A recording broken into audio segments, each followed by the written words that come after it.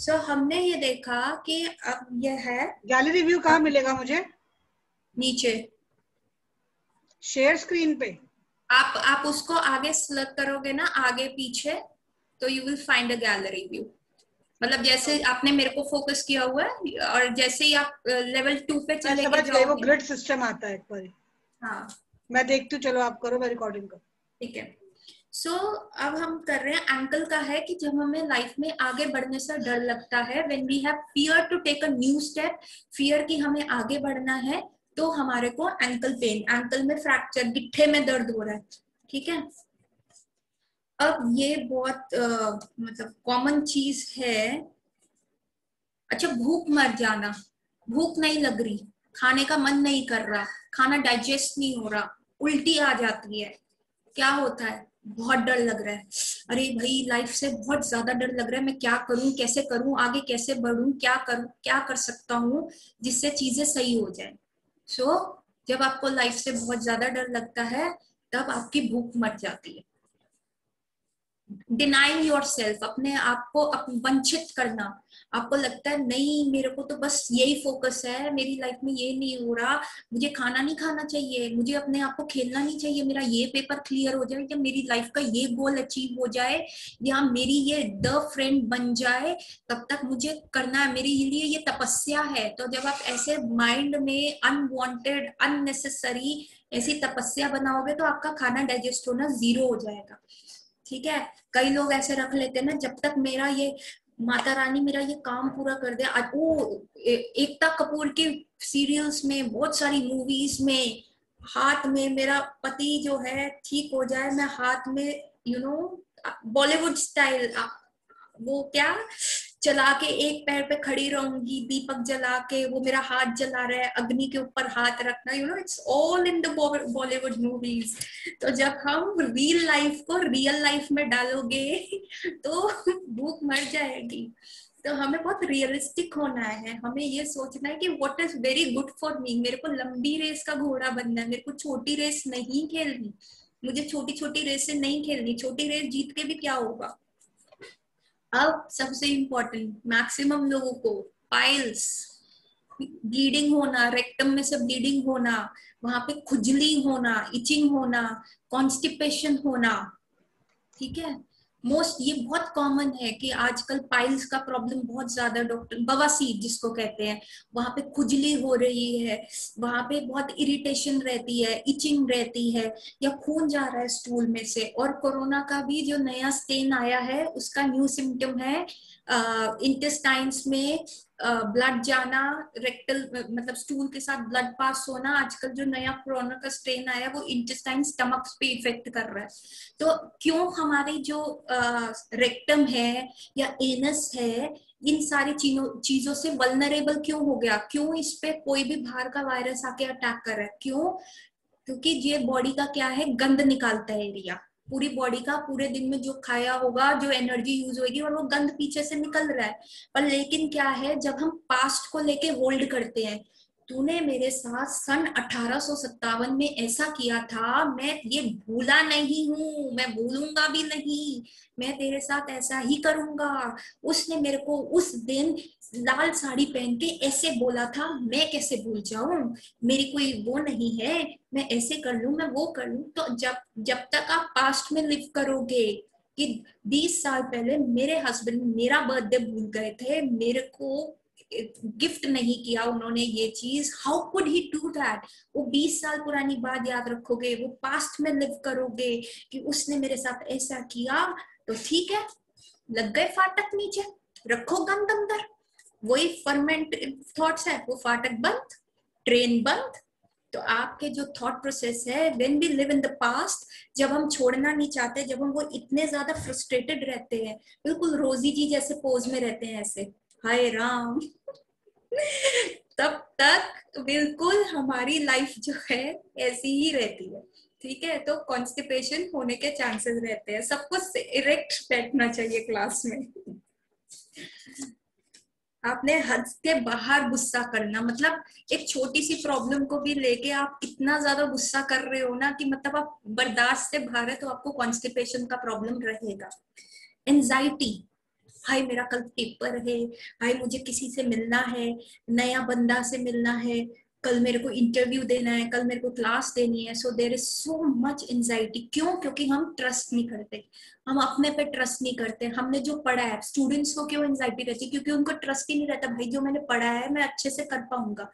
और एंजाइटी की वजह से जो पढ़ा होता है, वो भी ब्लैंक हो जाते हैं। तो जब आप किसी पे ट्रस्ट नहीं करते, जब आप अपने आप पे ट्रस्ट नहीं करते, जब आप भगवान पे ट्रस्ट नहीं करते, आपको लगता है बस जो भी है अभी होएगा, बस आपको लगता है बस कुछ हो रहा है, कुछ हो रहा है। जब आपका ट्रस्ट लैक ऑफ़ ट्रस्ट रहेगा तो आपको एंजाइटी का प्रॉब्लम रहेगा ही रहेगा। अच्छा ये भी बहुत कॉमन बीमारी है, वो है ब्लॉकेज हो गई। आजकल आप सुनोगे डॉक्टर साहब, उसकी तीनों हार्ट की आर्टरियाँ ब्लॉक थी। दो आर्टरी ब्लॉक थी नब्बे परसेंट ब्लॉक थी पचासी परसेंट ब्लॉक थी। बहुत कॉमन है ये सुनना। जी एकदम वो डाल दिया। क्या कहते स्टंट डालना पड़ गया या एनजीओ करनी पड़ गई। इतना ब्लॉक था। अब ब्लॉक क्यों होता है? सोच छोटी आर्टरी छोटी। कैलेस्ट्रॉल क्यों जमेगा? आप छो, सोच छोटी सोच रखोगे आप। बस यही कहोगे। नहीं, जो मैंने कह दिया, वो पत्थर की लकीर है। जैसे कई फादर्स होते हैं, जो बच्चों के न्यू आइडियाज़ को नहीं सुनते, वो पुराने टाइम में ही रह रहे हैं। नहीं जी कंप्यूटर नहीं यूज़ करना। आज की जनरेशन की कंप्यूटर मशीनों पे हम विश्वास ही नहीं कर सकते। औरतें होती है। नहीं जी, मेरे को, मैं फुल्ली ऑटोमेटिक वॉशिंग मशीन नहीं यूज़ करूँगी। उसमें कपड़े अच्छे धुलते ही नहीं है। मेरे को वो करनी है, मेरे को अपने आप से ही धोने हैं, मेरे को अपने आप ही वो डंडे ही मारने नई सोच के साथ मतलब these are some common examples I am giving you ठीक है? तो नैरो माइंडेडनेस बहुत ज़्यादा बड़ी भी हो सकती है कि आप इतने मतलब आपकी संकीर्ण सोच है, आप उससे आपका मतलब आप कुएँ के मेंढक हो। आपको यही नहीं पता समुद्र कितना विशाल है। कुएँ के मेंढक से एक बार पूछा गया कि भाई, तेरे को पता है समुद्र कितना बड़ा होता है? कहते हैं हाँ मेरे कुएँ से थोड़ा सा बड़ा उसने कहा, नहीं, कहता अच्छा चलो, दो गुना बड़ा कहता, नहीं, इतना भी बड़ा नहीं था अच्छा चलो, तीन गुना बड़ा नहीं अच्छा ना तेरी, ना मेरी, दस गुना बड़ा अब इससे बड़ा मैं नहीं करूँगा समुद्र। तो आपकी जो सोच है, वो कुएँ के मेंढक जितनी रहेगी तो समुद्र तो बहुत विशाल है। मतलब जब हम अपनी लाइफ में ये बता देते हैं कि मुझे पैसा चाहिए मुझे सिर्फ़ यू नो एक स्टेटस चाहिए। और आप अपनी लाइफ की छोटी छोटी खुशियों को भूल जाते हैं। कई होते हैं बिग बिजनेसमैन होते हैं, वो सिर्फ़ अपना बिज़नेस करते रहते हैं। उनके बच्चे छोटे से कब वो बोलना सीखते हैं, कब वो चलना सीखते हैं, कब वो क्लास में जाते हैं, कब वो अपनी फ़र्स्ट क्लास क्लियर करते हैं, कब उनको स्पोर्ट्स के लिए कोई प्राइज मिलता है। पर उनके फादर को होश ही नहीं है। उनके पास टाइम ही नहीं है एनुअल डेज़ अटेंड करने का, उनके पास टाइम ही नहीं है, उसके बच्चे ने क्या लिखा, बहुत सारी चीज़ें लिखी, कोई टाइम ही नहीं है तो क्या होगा? बस आपने वो छोटी छोटी खुशियाँ वंचित कर दी अपनी लाइफ से बिग खुशी के लिए। तो क्या होगा? एकदम हार्ट अटैक हार्ट अटैक आ जाएगा। आपने नींबू की तरह हार्ट को निचोड़ दिया, क्यों? आपकी गोल का लाइफ आपकी लाइफ का गोल था, मुझे चाहिए बड़ी गाड़ी, बड़ा घर, पैसा ऑडी बाहर मेरी वाइफ पहने सोने का हार नौ का हार बट जो लाइफ की स्मॉल स्मॉल खुशीज हैं वो आपने छोड़ दी। अब आज रामनवमी का दिन है तो हम थोड़ा इसके बारे में भी डिस्कस करें। महाराज दशरथ को हार्ट अटैक आया था। क्यों? स्त्री मोह में। उन्होंने जो केकई की बात सुनी थी और राम को जब तोड़ा तो वो जो छोटी लाइफ का हैप्पीनेस था उनकी लाइफ में, राम जी, जिनके मुख को वो देख के हँसते थे, बोलते थे, जब वो छोटे थे वो ठुमक ठुमक करके चलते थे तो दशरथ की वो लाइफ थे और उन्होंने क्या चूज़ किया? अपने वर्ड्स को चूज़ किया कि हाँ मैंने ये जबान दे दी है, अब मैं इसके पीछे नहीं हट सकता। या फिर मैंने कई, स्त्री को चूज़ किया लेडीज़ को, स्त्री को चूज़ किया कि उसको मैंने ऐसा किया, मेरे को कहीं को प्लीज़ करना है। तो हम अपनी पूरी हिस्ट्री देखें। अगर शास्त्रों की तो हम देखते हैं, राजा दशरथ को हार्ट अटैक आया था। हाँ जी, रोजी जी व्हाट्स योर क्वेश्चन जब दशरथ जी ने जब उन, जब वो मनु थे ना, तब उन्होंने जब भगवान जी से वरदान मांगा था कि मुझे आपके जैसा ही पुत्र चाहिए, तब उन्होंने उनसे ये भी वरदान मांगा था कि मैं आपके बिना ज़िंदा रहूँ ही ना। उन्होंने खुद ही हम्म। मांगा तो, तो वो एक रीजन बना। एक रीजन बना तो वो हाँ. हमें क्या सिखाता है कि लाइफ में अगर हम भगवान की जगह ऑडी कार को चूज़ करेंगे तो शायद मेरी डेथ जो होगी वो हार्ट अटैक से हो सकती है। कि हम कि मतलब ये दिखा रहे ना कि राम जी के वियोग में गए ना वो। हाँ तो जन्म अपने जन्म का फल तो उन्होंने ही पाया कि उनके साथ रहे और उनके हाँ, बिना नहीं रहे। हाँ नहीं रहे। क्योंकि जब आपको वही तो ये हमारे को जितने भी शास्त्र होते हैं वो हमारे को लाइफ में डिसीज़न मेकिंग में तो हेल्प करते हैं। राजा दशरथ जो थे इतने चक्रवर्ती सम्राट थे आँखों पे पट्टी बाँध के वो आ, तीर चला सकते थे। इतनी सारी रानियाँ उनकी थी। राजा दशरथ की 375 वाइफ्स थी। तीन 375 वाइफ्स उनकी चार पत्नियाँ नहीं थी। उस समय राजा दशरथ के टाइम पे पशुराम जी जो थे उन्होंने पशुराम जी भी थे और उन्होंने कहा था, जो भी क्षत्रिय होगा, मैं उसको खत्म करूँगा, चाहे वो राइट हो, चाहे रॉन्ग हो। मेरे को सारे क्षत्रियो को हटाना है इस धरती से। पर उनकी ये शर्त थी कि जो क्षत्रिय, की अभी अभी नई नई शादी हुई होगी, मैं उसको नहीं मारूँगा। तो जैसे ही अयोध्या में पता चलता कि परशुराम यहाँ पे आ रहे हैं तो राजा दशरथ के लिए एक और वाइफ चुन लेते थे उसकी शादी कर देते थे। So so, Raja Dasharath had हमें तो सिर्फ़ उनकी तीन पत्नियों के बारे में पता है। कौशल्या केकई सुमित्रा। हमें उनकी बाकी 375 वाइफ्स के बारे में तो नहीं पता। तो कहने का मतलब ये है कि राजा दशरथ इतने ऑकुलेंट थे मतलब जो हम कलयुगी जीव नहीं सोच सकते वो सब उनके पास था। पर स्टिल वो जो लिटिल हैप्पीनेस लिटिल नहीं वो तो ग्रैंड हैप्पीनेस था कि आपके भगवान आपके सीधा बेटा बन रहे हैं और आप उनके साथ रह रहे हैं। तो राजा दशरथ ने मृत्यु को चुना। तो मृत्यु को चुना मृत्यु की राम जी जा रहे हैं। पर हमारे देखने के हम कलयुगी जीवन को देखने पे पहले यही दिखेगा ना कि उन्होंने अपने शब्दों को चुना कि रघु पर रीत सदा चली आई प्राण जाए, जाए पर वचन ना जाए।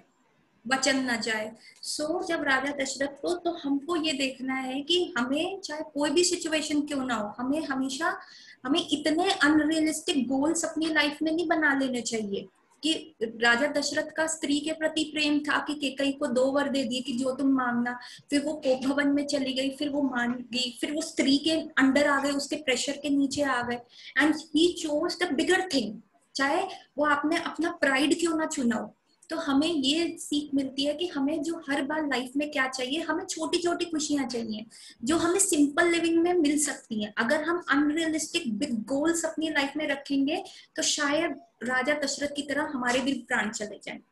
ठीक है इट्स शास्त्र हमें सिखाता है what to choose what not to choose तो जो आपके हार्ट का प्रॉब्लम होगा, जब आप छोटे छोटे सिर्फ़ सुबह से लेके नौ से दस गधों की तरह काम करते रहोगे, आपको ये नहीं पता आपका बच्चा कौन सी क्लास में जा रहा है, आपको ये नहीं पता आज बर्थडे एनिवर्सरीज या घर में थोड़ी सी पूजा है, या हस्बैंड वाइफ इकट्ठे बैठ रहे हैं। बस ऑल टाइम फ़ोन फ़ोन पे भैया इंपॉर्टेंट मीटिंग्स चल रही है फ़ोन तो आप क्या है अपने हार्ट को नींबू की तरह निचोड़ रहे हो। आप अपनी आर्टरीज को ब्लॉक कर रहे हो। क्यों? आप जॉय को नहीं फील करने दे रहे। आप छोटी छोटी खुशियाँ तो इंजॉय नहीं कर रहे। आप छोटी छोटी खुशियाँ तो इंजॉय नहीं कर रहे। नहीं नहीं मम्मी आप हट जाओ। मेरे से बात मत करो। मेरा कल टेस्ट है। आप मेरे को डिस्टर्ब कर रहे हो। आप मत मेरे से बात करो। आपको क्या गॉसिप करना है ये करो। सो so, लाइफ में जो चेंजेस हैं हमें छोटी छोटी खुशियों को एक्सेप्ट करते रहना चाहिए। ठीक है। फिर आ, हमने हार्ट का पढ़ लिया। उंगलियों में दर्द फिंगर्स में पेन आर्थराइटिस हो गया।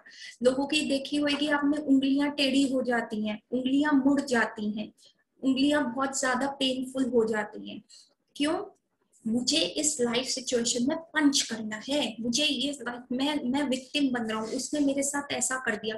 मुझे इसको पंच करना है पर मैं कर नहीं पा रहा।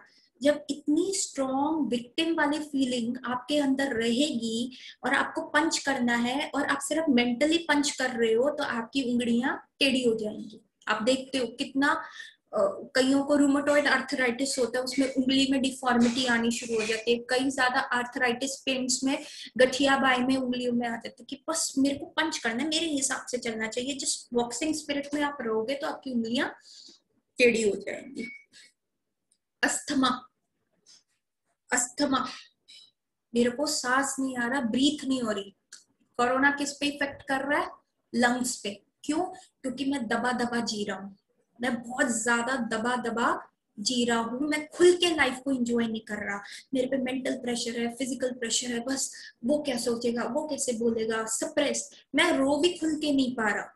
अगर मुझे अपने इमोशंस एक्सप्रेस करने हैं, वो भी मैं खुल के नहीं पा रहा। जिस किसी ने मेरा गला घोट दिया है तो मेरे को ब्रीथिंग नहीं हो रही, मैं ब्रीथ नहीं कर पा रहा। तो एस्थमा ठीक है? बैक बैक एक कमर में दर्द, ये तो बहुत बहुत कॉमन है। ठीक है? कमर का दर्द, क्यों? मेरा सपोर्ट सिस्टम खत्म हो गया। मेरे को कोई सपोर्ट नहीं करता। ये जो होता है, आपका जो स्पाइन होता है, जो आपकी बैक होती है, वो आपको कंप्लीट सपोर्ट में रखता है। इट इज़ ये सारा आपका पूरी बॉडी का वेट बेयर करता है, आपके खड़ा करने में हेल्प करता है इधर उधर बेंड करने में। जब आपका सपोर्ट सिस्टम खराब हो गया है, और जब आपको लगता है, कोई मेरी हेल्प नहीं कर रहा, ये लोग मैं इतना बड़ा भार लेके चल रहा हूँ, कोई मेरी मदद नहीं कर रहा तो बैक एक होगा ही होगा। अभी तक कोई चाहता है? मैं रिपीट करूँ? अच्छा स्पेशली बैक प्रॉब्लम्स में लोअर बैक क्यों इफ़ेक्ट होती है? जब आपको लगता है मेरा फाइनेंशियल लॉस हो रहा है, मेरे पास इतने पैसे नहीं है। लोअर बैक तब जाती है। मिडिल बैक कब जाती है? जब आप बहुत स्टकअप फील करते हैं। मिडिल बैक कौन सी होती है? ये ऊपर। ठीक है? लोअर बैक कौन सी है? नीचे। मिडिल बैक और अपर बैक होता है आपका सर्वाइकल स्पाइन तो लोअर बैक तब जाती है जब आपको बहुत फाइनेंशियल स्ट्रेन है। कोरोना टाइम में आजकल ये बहुत चल रहा है कि बिज़नेस नहीं चल रही, ये नहीं है तो लोअर बैक पेन आ सकता है। मेरे को फाइनेंसिस का सपोर्ट खत्म हो गया। और मिडिल बैक कब जाती है? जब मैं स्टकअप हूँ। मेरे को इतना सब करना है, मेरे को कोई मैन पावर नहीं मिल रहा। हाई मैं कैसे करूँ? मैंने ये ये कर लिया तो आपकी मिडिल बैक जाएगी। और अपर बैक जाती है जो ये ऊपर सर्वाइकल जब आपको इमोशनल सपोर्ट कम होता है। आपको इमोशनली कोई सपोर्ट नहीं करता। देन आपका सर्वाइकल जाता है। दो चार डिसीजेस और कवर करेंगे फिर नेक्स्ट क्लास में करेंगे ताकि आप लोगों के लिए भी बहुत हेवी ना हो आप लोग भी उसको एसिमुलेट कर पाए ठीक है? सोनल एक क्वेश्चन था। हाँ जी। uh, अभी जैसे बच्चों में भी लोअर बैक का देखा जा रहा है तो वो तो पैसे के पीछे नहीं भाग रहे होंगे। क्यों नहीं भाग रहे? उनको आईफोन चाहिए उनको मैकडी का बर्गर चाहिए उनको वो कैसे आएगा? मैं आपको बता रही हूँ, मेरे पास 24 साल का एक लड़का आया है 24 साल क्या होता है, बच्चे ही हो गए। हाँ 24 साल के लड़का, बनिया फैमिली का, उसमें ये कहा है कि मुझे जब तक मेरी मम्मी ऑडी कार नहीं खरीद के देंगी, मेरे पापा, तब तक मैं शादी के लिए हाँ नहीं बोलूँगा। मैं किसी भी लड़की से शादी नहीं करूँगा, मैं बारात लेके जाऊँगा ऑडी में। उस, अगर उसका, उसको फ़ोन नहीं मिलता, उसने लेना है तो हम, छोटा एंड्रॉइड का फ़ोन ये फ़ोन छोटा वाला फ़ोन पंद्रह हज़ार वाला फ़ोन मेरा कोई स्टैंडर्ड नहीं है। आईफोन से नीचे तो हमने बात नहीं करनी नब्बे नब्बे हज़ार एक एक लाख के फ़ोन से। हाँ जी भारती जी। मेरा सजेशन है उसकी तो उसको दहेज नहीं मिलना? उसको वो मार्केट प्राइस लगा दो। बढ़िया में लग जाए तो उसको कोई ना कोई तो खरीदेगा। बॉडी तो अपनी मिलेगी ना बीएमडब्ल्यू दहेज में ले लेगा दो गाड़ी नहीं नहीं उसको बोलो कि मैं लड़की को इसीलिए तो देते ना दहेज के हम लड़की को बड़ा खुश रखें क्योंकि हमारे में कमाने की काबिलियत नहीं है। तो हम दहेज देंगे चालीस लाख का टेंट। दहेज तो उसको बोलो दो गाड़ी दिलवाएँगे। तू ठीक रहे। तू माँ बाप का नाम रोशन कर तेरे को दो गाड़ी दिलवाएँगे हम शादी में। अब ये जब आपका स्ट्रेन जब वो अपने स्टैंडर्ड्स में नहीं रह पा रहे अब बच्चे हैं छोटे छोटे बच्चे हैं बैग्स कैसी कैसी क्लॉक वो लेके घूमते हैं। यू नो हमारे टाइम में स्कूल में जब हमारे पेन शुरू हुए थे जब पेंसिल हट गई थी तो बहुत सारे बच्चे बड़े एक्सपेंसिव और यू नो वो वाले इंक पेन लेके आते थे। वाले पेन लाते थे। पाक दो सौ दो सौ रुपए के पेन। तो हमारी मैम ने क्या किया था कि किसी में हीन भावना नहीं आई उन्होंने पाक पेन्स लेने शुरू कर दिए और उन्होंने रिनोल्ड्स को वो कर दिया स्टैंडर्ड बना दिया। तो उसके बाद कोई ऐसी कंपैरिजन नहीं आया। तो आप कोई चीज़ नहीं ले पा रहे। मम्मी आप तो मेरी कोई ख्वाहिश ही नहीं पूरी करते। आप मेरे को ये लेके ही नहीं देते। आपको पता नहीं मेरे फ्रेंड के पास क्या है। तो लोअर बैक गई ज़रूरी थोड़ा ना फाइनेंशियल स्ट्रेन आपका फाइनेंशियल जिसके पीछे फाइनेंशियल टैग है तो वो चीज़ तो आपकी गई गई। ठीक है। बालनेस अच्छा, एक, एक, एक सजेशन है प्लीज़ सोनल जी। अगली बार ना हम कोई अच्छी अच्छी बात करेंगे बड़ी सारी बीमारियाँ हो गई थोड़ा सा ना वैसा तो लग रहा है कि माहौल चेंज करेंगे। पर ये जानना बहुत ज़रूरी है। नहीं नहीं आज आज आज बीमारी बीमारी करेंगे अगली बार अच्छी अच्छी बातें बातें करेंगे। सही बात है कोई अच्छी अच्छी सही बात है अच्छी बातें कर करनी ज़रूरी है हम ये लुई है नहीं डिस्कस करेंगे नेक्स्ट नहीं नहीं हम एक गैप की बात करेंगे। थोड़ा मीठा थोड़ा खट्टा ऐसे ऐसे खाएँगे ठीक है? तो ना बहुत सारा लगता है दुनिया में कुछ भी अच्छा नहीं है। मेरे को तो ऐसा लगना शुरू हो जाता है कि दुनिया में अच्छी चीज़ें कहाँ चली गई? सब लोग परेशान क्यों है? तो यही तो बताने के लिए अभी देखो ना वो एकता जी की सनशाइन आई थी तो एकदम से मूड अच्छा हो गया ना कि चलो दुनिया में अच्छा है कुछ। नहीं तो बड़ी देर से कठिया दर्द ये दर्द वो दर्द लिखे जा रही हूँ। मेरे को लग रहा है तो कुछ भी नहीं दे रही। अब वही तो है कि हम इतने कंफर्टेबल होके बैठे हैं कि भैया ज़िंदगी में तो बड़ी हसीन है बहुत अच्छी वादियाँ चल रही है ये है वो है ठंडी हवाएँ आ रही है। पर एक्चुअली ये ठंडी हवाएँ नहीं ये पीछे कूड़ादान है उसमें से बदबू आ रही है और हम उसको जो है रिप्रेजेंट कर रहे हैं ठंडी हवाओं से। सो so, एक और डिसीज कवर करते हैं और गंजपन बाल झड़ना उसके बाद फिर हम थोड़े टाइम के बाद और डिसीजेस करेंगे दो तीन क्लासेस के बाद। अच्छा बाल क्यों झड़ते हैं? बाल्डनेस गंजपन क्यों आता है? जल्दी में चोर बनना। मैं सब कंट्रोल कर लूँगा। रिस्पॉन्सिबिलिटी पड़ जाना। सुपर मेच्योरिटी आ जाना एक लेवल पे आके। तो आप आपके बाल झड़ रहे कि सब चीज़ें मैं ही कंट्रोल करूँगा। मेरे हिसाब से चीज़ें चल रही है। जैसे आजकल यंगस्टर्स में क्यों आ रहे हैं?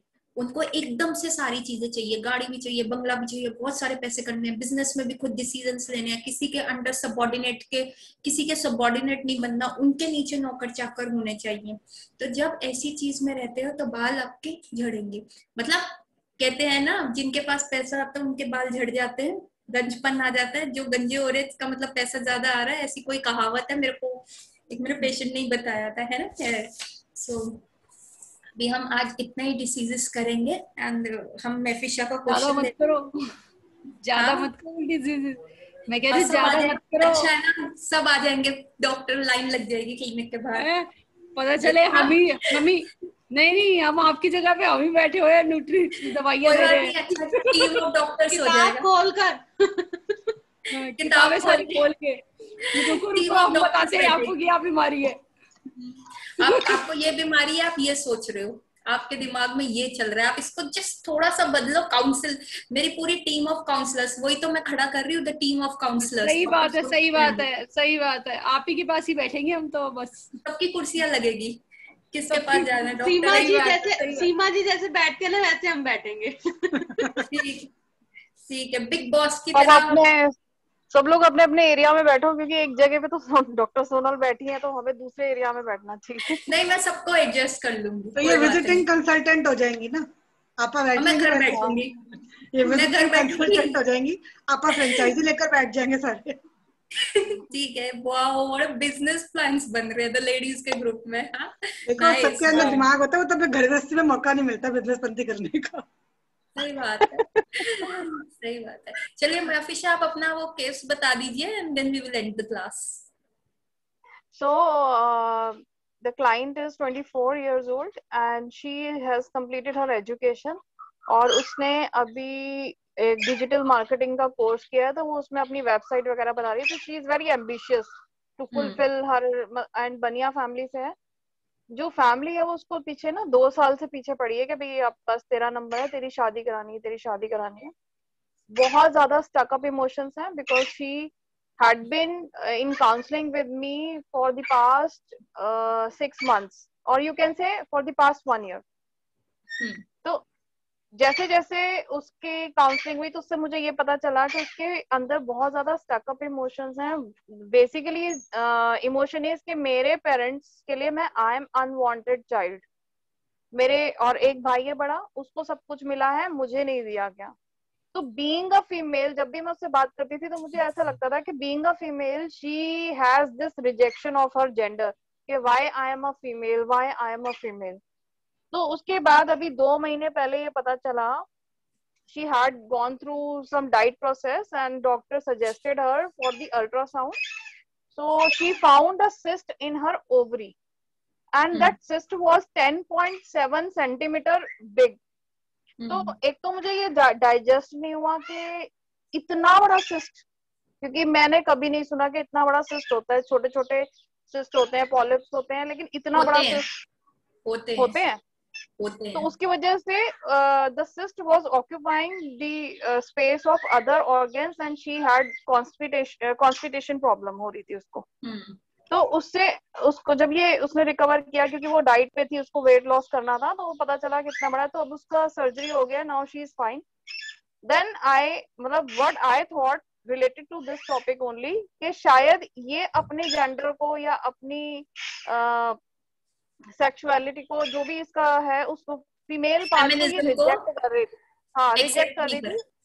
और ये she is into fight with her parents के नहीं मुझे तो बिल्कुल शादी नहीं करनी भूल जाओ खबरदार जो शादी का नाम लिया मैं तो घर छोड़ के भाग जाऊँ।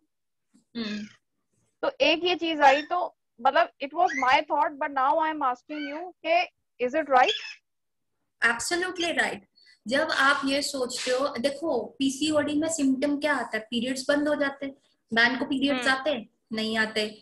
मैन की दाढ़ी के बाल आते हैं? पीसीओडी में क्या होता है कि अनवांटेड फेशियल हेयर्स आने शुरू हो जाते हैं। दाढ़ी के बाल ये साइड वाले हेयर्स। जो होते हैं वो बढ़ने शुरू हाँ. हो हाँ। जाते हैं फीमेल्स में ठीक है हाँ। और आपने आपका हार्मोन सिस्टम को ब्लॉक करने के लिए ओवरी जो है हर बार एक फॉलिकल रिलीज़ करती है जिसमें से एग बनता है हाँ। तो आपने रिजेक्ट कर दिया भैया मेरे को शादी नहीं करनी तो शादी नहीं करोगे बच्चे नहीं होंगे तो भैया मेरे को ये रिप्रोडक्टिव सिस्टम ही नहीं चाहिए आपके माइंड में था कि मेरे को रिप्रोडक्टिव सिस्टम ही नहीं चाहिए तो मतलब उस उसका ये है भगवान हमेशा कहते हैं तथा हस्तु उसने कहा मुझे हाँ। बच्चे को नहीं चाहिए भगवान ने कहा ठीक है तथा वस्तु तुमको जो मैंने एक्स्ट्रा सिस्टम दिया हुआ है मैं उसको कर देता हूँ तुम्हें मैन हाँ। नहीं बनना है तो फिर दाढ़ी वाले बाल आएँगे जब तुम भगवान हाँ। को अगर वही मैं बोल रही हूँ भगवान को एक ही चीज़ बनानी होती तो वो मेल और फीमेल का डिस्टिंक्शन ही क्यों आता तो जो जो चीज़ में अच्छे हैं जो जो चीज़ में अच्छे हैं हमें वो चीज़ एक्सेप्ट करनी चाहिए हमारा फीमेल्स तो, का काम है मल्टीटास्किंग नर्चरिंग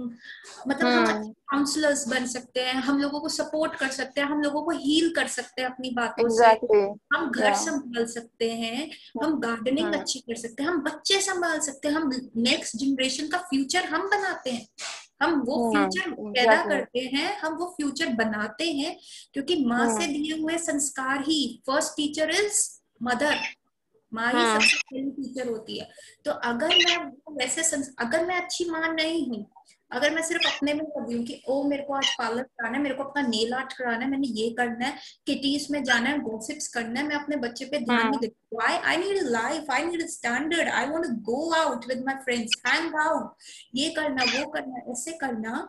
तो वो आप आपका बच्चा क्या है? वो बंदर है। जैसा आप करोगे वो बस वैसे करेगा। आप उसको शब्दों से बोलो बैठ जाओ खा लो ऐसे नहीं बोलते झूठ नहीं बोलते ये नहीं करते। नहीं वो आपके शब्दों से नहीं सीखेगा एक्शन से सीखेगा। You know a good mother वो आपके आप अगर अपने फीमेल फेमिनिज्म को अच्छे से एक्सेप्ट कर लोगे ना तो आपको ये प्रॉब्लम ही नहीं। सौ साल पहले it was very surprising that she is only 24 और 25 and she has ovarian and that I have a patient जो मेरे पास एक पेशेंट आई सत्रह साल की आई उसको पीरियड्स नहीं आते थे। मैंने उसका अल्ट्रासाउंड कराया एंड व्हाट आई फाउंड कि उसके यूट्रस बना ही नहीं है पूरा। उसका यूट्रस oh अंदर से अंदर से डिवाइड है। ऐसा होता है कि जब फीमेल जब आपने कंसीव किया होता है जो बच्चे के सेक्सुअल ऑर्गन्स बन रहे होते हैं तो यूट्रस जो होता है hmm. दो भाग में बनता है।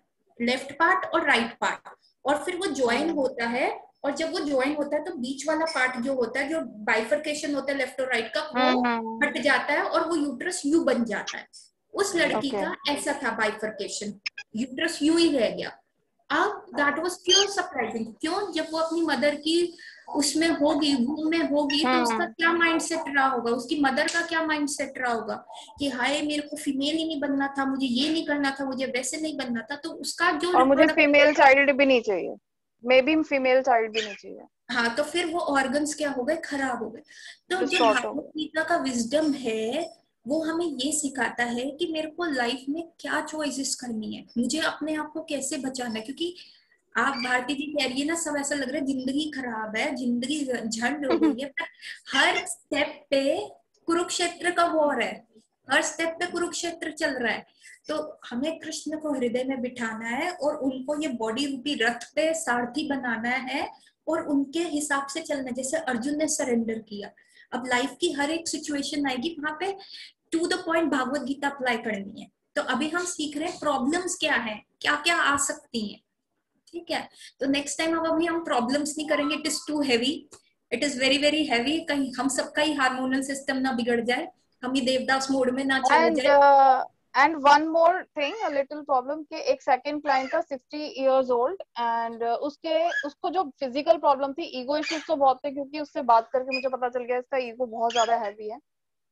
सेल्फ मेड पर्सन रहा है, बचपन से ही दस साल की उम्र से उसने काम करना शुरू कर दिया था, बिस्किट बेचता था ऑरेंजेस बेचता था न्यूज़पेपर बेचता था, खुद अपनी एजुकेशन पूरी करी टेंथ तक, उसके बाद खुद ही बिजनेसमैन बना now he is a very big and popular businessman of Jet King company in I think Punjab में है हमारे पास पाँच मिनट है मीटिंग खत्म हो जाएगी तो ओके okay, तो अभी उसका प्रॉब्लम क्या है कि उसके हड्डियों में और उसके घुटनों में पेन रहता है बहुत ज़्यादा हम्म सपोर्ट नहीं है ना लाइफ में अकेला चलता रहा मैं अकेला करता हाँ। रहा बुढ़ापा yes. हाँ, आ गया फ्लेक्सिबल नहीं हुआ hmm. उसने मेरा साथ नहीं दिया रिजेंटमेंट हो गई ना अंदर पेरेंट्स ने भी नहीं दिया पेरेंट्स ने भी नहीं दिया ना सेल्फ मेड पर्सन है सेल्फ मेड है पेरेंट्स ने भी नहीं दिया तो ठीक है ना करा नेकी कर कुएँ में डाल रिजेंटमेंट मत hmm. रखो ये ठीक है एवरी बहुत सारे लोग सेल्फ मेड होते हैं लेकिन अगर आप रिजेंटमेंट हाँ। रखोगे ना कि उसने हाँ। मेरे को सपोर्ट नहीं किया उसने मेरे साथ ऐसा किया जब मेरे को ज़रूरत थी अरे पीछे का छोड़ो आगे बढ़ो थॉट प्रोसेस को चेंज करना है आप लाइफ सिचुएशन हाँ। अरे आपके पास एंट्रेंस के एग्ज़ाम मुश्किल ही होते हैं तभी तो डॉक्टर और इंजीनियरिंग में जाओगे ना इजी आने लग गए तो सभी चले जाएँगे। तो ये इसके एंट्रेंस एग्ज़ाम्स है आपकी लाइफ का एक एक एंट्रेंस एग्ज़ाम आता है ये प्रॉब्लम्स है। अब आपको इंटेलिजेंटली इससे कैसे डील करना है? या तो आप अपनी बॉडी को खराब करके आप सक्सेसफुल का टैग हो पर बॉडी दे दी तो क्या फ़ायदा? हाँ। ये तो बॉडी के साथ सक्सेस है बॉडी खत्म सक्सेस खत्म। कौन जानता है? exactly. पहले कौन बिजनेसमैन था कौन सेल्फ मेड था so best I say the success of your life is कि आप एक फुल एज पे मर रहे हो without any medical problems without कि आपके बीपी शुगर और ये गोलियाँ खानी है आपने हाँ. अपनी बड़ी में टाइम लगाया हुआ है। And secondly at the time of your death आपका थॉट अच्छा होए कि आपका ये थॉट इतना अच्छा हो कि आप दोबारा से जन्म, मृत्यु, जरा व्याधि के चक्कर में ना पहुंचो। ठीक है? क्योंकि जो लास्ट थॉट होता है, वही नेक्स्ट बॉडी आपको मिलेगी, वही नेक्स्ट उसमें आप जाओगे। So the success of life जो मेरे को आज तक समझ आया है पता नहीं आगे चेंज हो जाए ये भागवत गीता जैसे जैसे हम सब पढ़ रहे हैं, ये मंत्रा मेरे को समझ आया कि बॉडी प्राइमरी है क्योंकि ये गाड़ी है मेरे को जितनी अच्छे से उसको मेंटेन करके चलना है वैसे। एंड सेकेंडली जो Depp the main the main the main entrance exam होगा वो मुझे अच्छे नंबरों से क्लियर करना है और मेरे को वापस नहीं आना क्योंकि इस लाइफ में झंड है इस लाइफ में कुछ नहीं रखा। इतनी सारी लुई है ने डिसीजेस बता दी हैं भैया इतना तो मेरे में पावर नहीं है कि मेंटली मैं अपने आप को इतना कैसे स्ट्रॉन्ग करूँ। सो so, मुझे इस जन्म से मतलब वापस नहीं आना। I know my goal I know that now मतलब by wisdom of Bhagavad Gita I know I don't want to come back मुझे आना ही नहीं। ये जन्म मृत्यु जरा व्याधि में पड़ना ही नहीं। सो so, आपको बहुत you know you have to be very meticulous अपने गोल्स बनाने के लिए। बहुत सोचो क्या क्या चाहिए? एक्चुअली में लाइफ में व्हाट इज़ सक्सेस एक्चुअली में लाइफ में क्या चाहिए? सो so, सबको हैप्पी राम नवमी और सब राजा राम के चरित्र से सीखें कि क्या इम्पोर्टेंट है, उन्होंने कैसे अपनी लाइफ जी राजा राम में? किंगडम चला गया, पर हेल्थ नहीं लूज करी। जंगल में चले गए, गुस्सा नहीं करा कि ऐसे हो गया, वो करा। हर चीज़ पे बड़े थॉट प्रोसेस के साथ चले। उनकी वाइफ को वाइफ को कैप्चर कर लिया रावण ने। फिर भी उसके साथ डील किया कि तू मेरी पत्नी लौटा दे। कहा कि झुक जा वानरों की सेना, एक बंदर, एक बच्चा संभालने आजकल प्रॉब्लम है। राजा राम ने इतने सारी बड़ी वानरों की सेना को संभाला। तो आज रामचरित्र, आज रामनवमी के दिन हमें भगवान राम के चरित्र से ये सीखना चाहिए कि हमें लाइफ में वो भी तो ह्यूमन इमोशंस के साथ आए थे। उन्होंने कोई अपनी एक्स्ट्रा गॉडली पावर नहीं दिखाई थी। वो एक मैन की तरह आए ह्यूमन इमोशन उनकी बीवी गई, वो रोए। शबरी के साथ बेर खाए क्योंकि शबरी का उन्होंने समझा इमोशन समझा सबका इमोशन वानरों का इमोशन समझा। फिर भी फॉरगिवनेस को प्रीच किया कि मैं रावण को माफ़ कर दूँगा। एक बार रावण सर तो झुकाए। एक दोहा है, एक श्लोक है जिसमें राजा राम कहते हैं कि अगर रावण सर झुका देगा मेरे सामने तो मैं उसको लंका दे दूँगा दोबारा से। लंका का राजा बना दूँगा। तो फिर हनुमान ने कहा, अरे, आप उसको नहीं, एक वानर सुग्रीव ने कहा कि अगर आप उसको किंगडम दे दोगे तो आपने तो विभीषण को किंग घोषित कर दिया तो शब्दों के पीछे चले जाओगे। तो राजा राम ने कहा, अगर विभीषण ऐसा करेगा, विभीषण मेरे सामने करेगा, मैं उसको अयोध्या दे दूँगा। कहते, अरे, आप अयोध्या कैसे दे सकते हो? आप अयोध्या के वो तो आपने भरत को दे रखी है। कहते, अगर भरत को किंगडम चाहिए होगा तो मैं उसको वैकुंठ दे दूँगा। कहते, फिर आप वैकुंठ भरत को दे दोगे तो आप कहाँ पे रहोगे? कहते, मेरे लिए रहने की जगह क्या है? हनुमान जी का हृदय। मैं वहाँ पे खुशी से रह लूँगा तो हमें राम जी के चरित्र से सीखना चाहिए कि लाइफ में what is important forgiveness is important गुस्सा नहीं करना इम्पोर्टेंट इतना अयोध्या, इतना विशाल किंगडम इतना ऑपुलेंट किंगडम भी छोड़ के ही वॉज़ हैप्पी जंगल में he was very happy with his wife और लक्ष्मण भैया। तो हमें ये सोचना है कि लाइफ में क्या प्रायोरिटाइज करना है। तो आज रामनवमी के दिन हम राजा राम से सीखे कि व्हाट इज़ टू डू वो ह्यूमन आए, उन्होंने एग्ज़ाम्पल सेट किया। तो this is basically Ram ji को अपने हृदय में उतारना इज़ बेसिकली रामनवमी का सेलिब्रेशन कि राम जी हमारे हृदय में जन्म लें एवरी डे लें, हमारी जितनी भी प्रॉब्लम्स हैं, हम वैसे उनके थॉट प्रोसेस से उन सारी प्रॉब्लम्स को सॉल्व करें। वो एक्चुअल में Ramnavami celebration so let's end our class here किसी का कोई प्रश्न ठीक है we are all on the same page कल अगली बार हम नया श्लोक करेंगे so Hare Krishna Hare Krishna Krishna Krishna Hare Hare Hare Ram Hare Ram Ram Ram Hare Hare Hare Krishna Hare Krishna Krishna Krishna Hare Hare Hare Ram Hare Ram Ram Ram Hare Hare Hare Krishna Hare Krishna Krishna Krishna Hare Hare Hare Ram Hare Ram Ram Ram Hare Hare happy Ram Navami to all of you Hare Krishna जय श्री कृष्ण